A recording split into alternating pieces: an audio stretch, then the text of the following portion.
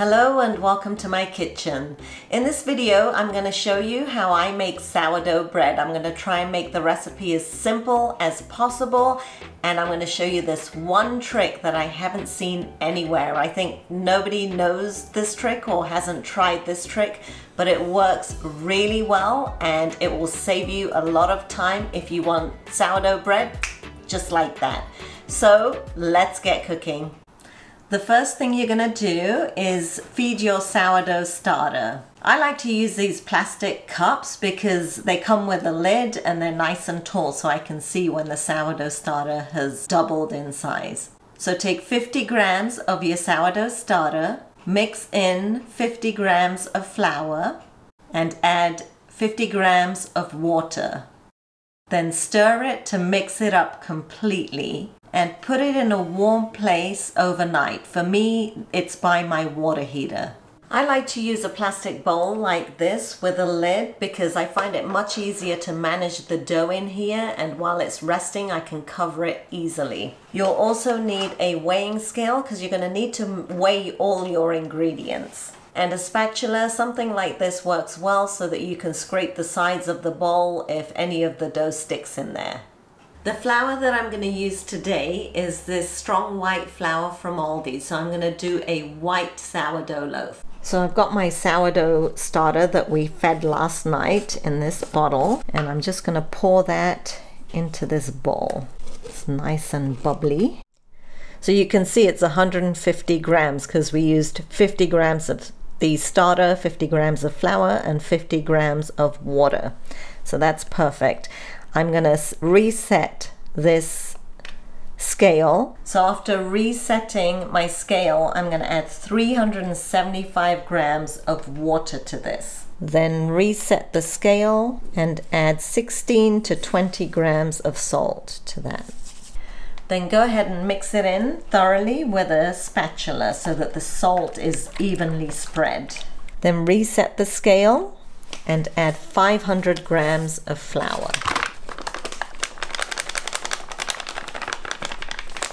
Then using a spatula, go ahead and mix it in thoroughly so that there's no dry flour anyway. You definitely don't want lumps in here. Then we're gonna cover it and let the dough rest for about 30 minutes. All right, so my dough's been sitting here for 30 minutes and we're gonna get ready to stretch it now. First thing I'm gonna do is just make sure I get all the dough scraped off the sides and then I'm gonna wet my hand, only one hand. And then I'm gonna grab my dough and stretch it and fold, stretch and fold, stretch and fold.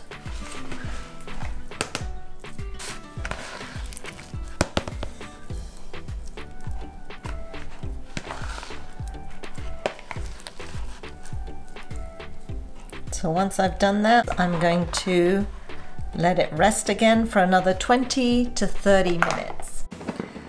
And we'll do this four or five times. And when I'm stretching and folding, what I'm thinking about is the air holes that I'm making. A lot of the videos, the YouTube videos you'll see out there will talk about stretching and pulling to strengthen the dough and strengthen the gluten. And those things are very, very true. But for me, mentally, what I'm thinking about is the air that's getting trapped in the dough. So I pull it and I stretch it over and I'm thinking I'm making an air hole there. And that helps me a lot. So we'll revisit this in about 30 minutes.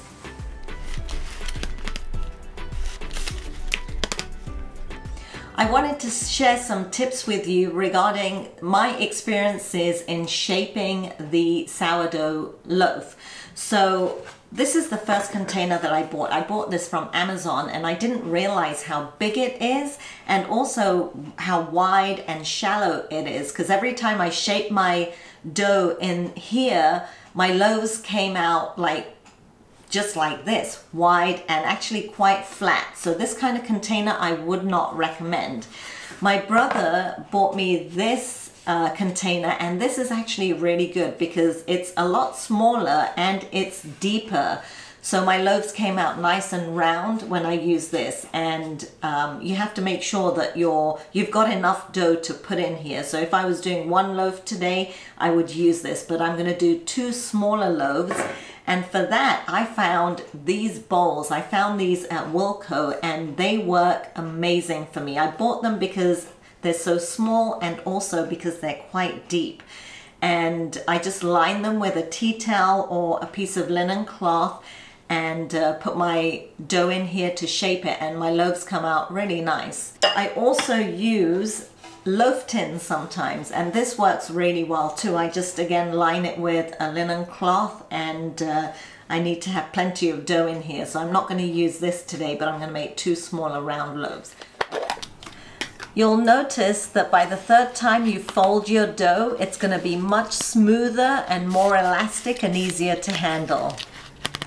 One other tip is I like to leave some water at the bottom of my sink because I noticed every time I wash my hands there's little bits of dough that's sticking in the sink. So I just keep about an inch or two of water when I'm washing my hands for easy cleanup.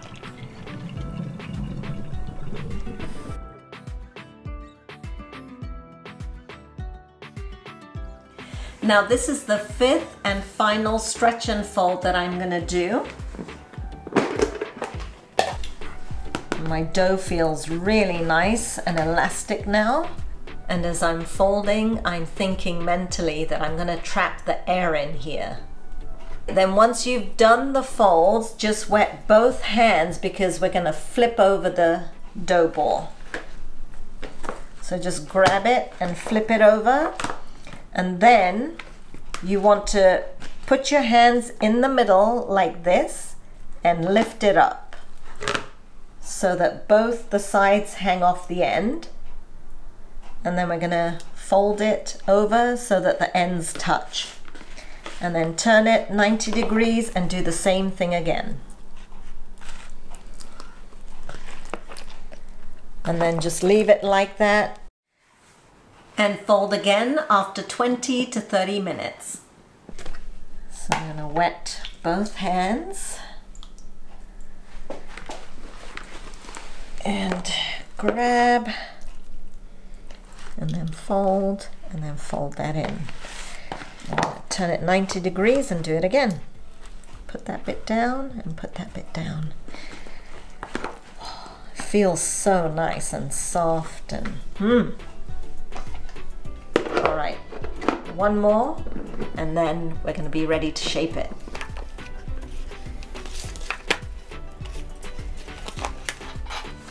All right, so now I'm gonna get ready to shape it.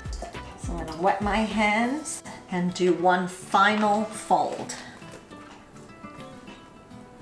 And my dough feels absolutely lovely. It's nice and soft and it's just really nice and pliable too. I'm popping the air bubbles that are on the top because you don't want them there. Just giving it a couple more folds. There we go. Now I'm gonna cut it in half. Now I do like to use these scrapers to cut and shape my dough because I do find them handy. So this is definitely worth the purchase. I am gonna wet it a little bit wet my hands again too, make sure they're moist. And then I'm just gonna cut this loaf in half as best as I can. Okay, I'm gonna put one half to one side and then with the other half of the dough, I'm gonna flip it over. And then I'm gonna spread it out.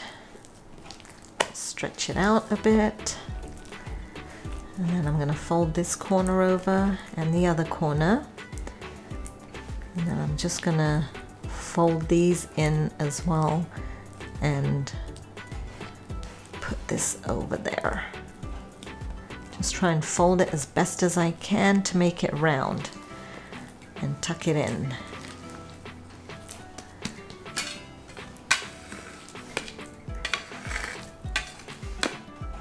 You want the skin on the top to be really tight so it holds its shape.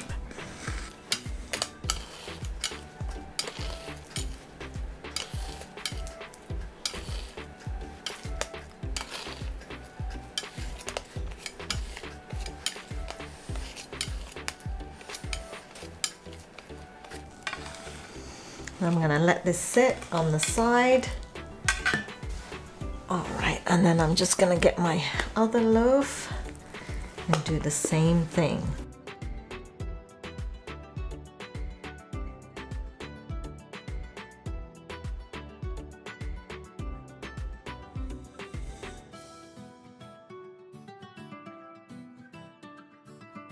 That looks good. So now both my dough balls are ready to put into the containers. Then I'm going to line my bowls with some linen. You can use tea towels if you like. Just make sure you don't use fabric softener while you're washing these because you'll get the smell in the sourdough. And then I'm going to sprinkle some rice flour. I find rice flour works the best. For some reason it just does not stick. So there's a tip there. Use rice flour instead of plain flour to dust your sourdough loaves. And I've just got a coffee cup here actually that I wasn't using. So you don't need any special equipment for that. I'm also going to sprinkle some rice flour on my dough and then carefully put the dough balls into the containers. And I'll sprinkle some rice flour on top of the dough as well. And then the final thing is to fold the linen over the top carefully, not too tight. And I like to keep these plastic bags and just put the dough inside the fridge. So I'm gonna keep these in the fridge for between one to four hours. And then we'll bake it. I like to use my cast iron pot or Dutch oven to bake my sourdough bread because it can get really hot and it retains the heat really well. So I'm going to preheat my oven to 230 degrees and let the casserole dish heat up really well for about 20 to 30 minutes before I put my sourdough bread in there. Now before I start baking I like to have everything ready so I've got my oven gloves ready I've got a trivet ready to take out the hot casserole dish and put that onto there I've got a blade ready to score the dough before I put it into the oven I've got some rice flour because I'll probably need to sprinkle some on the dough before I put it into the Dutch oven. I've got a timer so I know how long to cook the bread. I've got a rack here so that I can take out the hot bread once it's baked and cool it. And I've got some spatula so I can scoop out the bread. So it's really handy to have everything ready before you start baking and I took my bread out of the fridge. So this has been in the fridge for just about two hours. The casserole dish has been in the oven for about 30 minutes. So the first thing I'm going to do is go ahead and sprinkle the loaf with some rice flour so it doesn't stick when I put it into my casserole dish. And then I'm going to get ready to put the loaf into this very hot casserole dish. You have to be very, very careful because it's really hot. So I'm carefully going to put my dough inside and score it. Now I like to score around a centimeter. Then cover it up. and quickly get it back into your hot oven.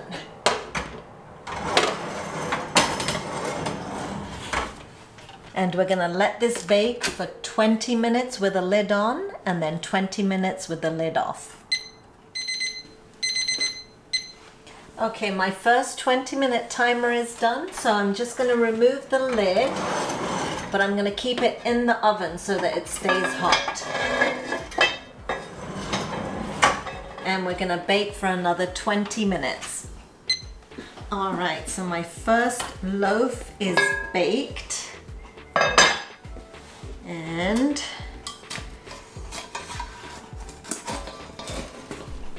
this is what it looks like. And now I'm getting ready to put my second loaf in. So again, I'm just gonna dust it with the rice flour and put it into my Dutch oven and score it and bake it for 20 minutes. Now with the second loaf, I'm gonna show you a trick that I'm sure you're gonna love because once I figured it out, I use it all the time. So guys, if you're enjoying my video, don't forget to subscribe to my channel and show me that you like the video by giving me a thumbs up. Now if you see air bubbles in the skin of your dough ball before baking it, make sure you pop them because if you don't, you get little craters like this and I totally missed that, but I'm glad it's here so that I can show you what it looks like.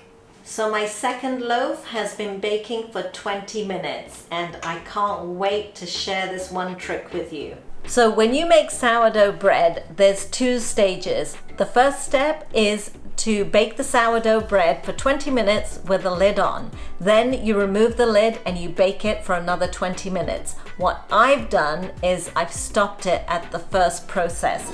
So here I've got my loaf that's gone through the first step and here I'm gonna take it out onto a rack and I'm gonna let it cool to room temperature. Once it's cool to room temperature, I'm gonna put it into a plastic bag and put it in the fridge. And whenever I want hot sourdough bread, what I'm gonna do is take the loaf out of the fridge, spritz it with some water and stick it in a preheated oven to 220 or 230 degrees Celsius and bake it for 20 minutes. And trust me, the bread comes out like it's fresh bread. My kids love it. We have hot sourdough bread for breakfast. We have hot sourdough bread for lunch. This makes life so much easier and you can have sourdough bread hot from the oven whenever you want it. I've given half-baked sourdough loaves to family and friends with instructions on how to finish baking it and they just love having hot fresh sourdough straight from the oven so it's a wonderful gift idea too. I hope you guys enjoyed watching this video. Don't forget to give me a thumbs up and subscribe to my channel and I'll see you again soon for some more cooking inspiration.